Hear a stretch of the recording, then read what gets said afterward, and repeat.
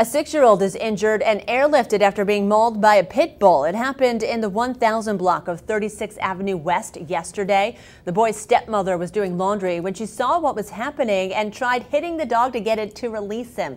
The dog's owner also stepped in to help and finally got the dog off the child. The six-year-old was airlifted to All Children's Hospital and is reportedly in stable condition. Animal Control has the dog while an investigation is underway.